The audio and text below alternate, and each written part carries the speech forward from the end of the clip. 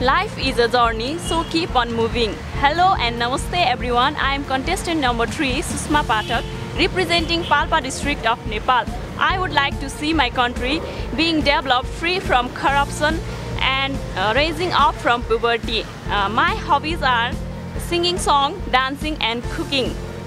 If you would like to see me as the winner of Public Choice Mrs. Nepal Icon 2018, please go to your message box and type M and I space 3 and send it to 33001. Please remember 3 is my contestant number. Thank you.